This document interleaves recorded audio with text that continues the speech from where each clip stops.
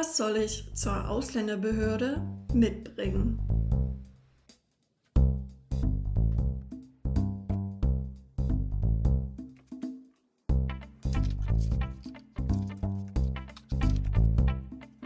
Die Terminbestätigung. Der Reisepass oder kurz der Pass. Der Aufenthaltstitel bzw. die Aufenthaltserlaubnis. Auch mit Zusatzblatt. Wenn du noch keine Aufenthaltserlaubnis hast, musst du natürlich keine mitbringen. Das biometrische Passfoto. Dafür gibt es Automaten. Du findest Automaten manchmal in Bahnhöfen, Einkaufszentren oder sogar in Behörden. Die Fotos kosten dann unter 10 Euro für vier Fotos. Die Meldebescheinigung. Du zeigst damit, wo du wohnst. Der Krankenversicherungsnachweis. Die Krankenversicherungskarte zählt nicht als Nachweis. Du brauchst ein Dokument von der Krankenkasse. Das kann man oft online erstellen. Das Zulassungsschreiben oder die Immatrikulationsbescheinigung. Du zeigst damit, was und wo du studierst. Ein Zulassungsschreiben zeigt, dass man zugelassen wurde.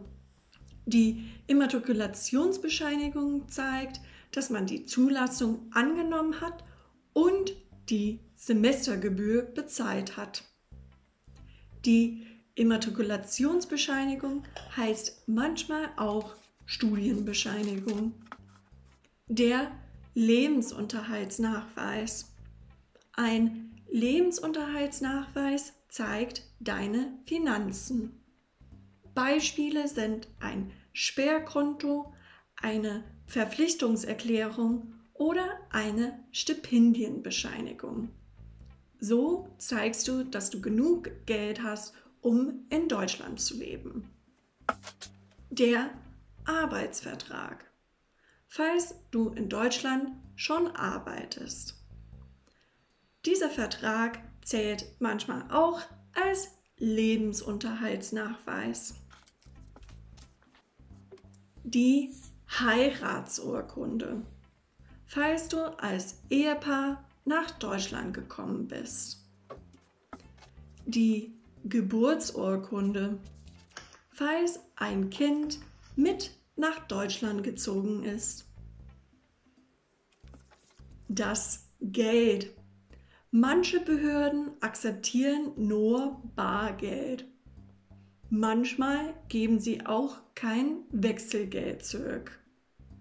Manche Behörden akzeptieren nur Karten. Du kannst mit einer Karte und passendem Bargeld kommen.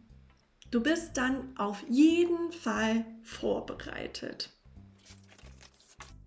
Das Formular es gibt ein Formular für alle unterschiedlichen Zwecke. Sonstiges. Du musst die Webseite von der Ausländerbehörde und deine Terminbestätigung anschauen.